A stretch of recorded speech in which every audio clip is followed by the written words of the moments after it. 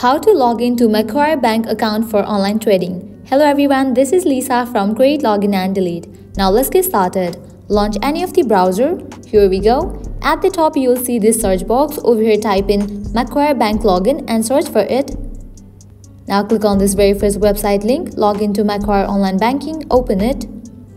With that you will be directed to the official website of Macquarie Bank.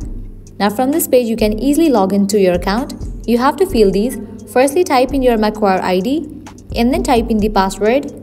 In the case you have forgotten your login details, you can click on this option to recover it. Likewise, if you are new and you want to register for a Macquarie account, you can click on this one option. Once you fill this, click on the option of login and with that you will be logged into your account. So this is how you can easily log into Macquarie Bank account for online trading. At the end, if you guys find this video helpful, don't forget to like, share and subscribe. Thank you.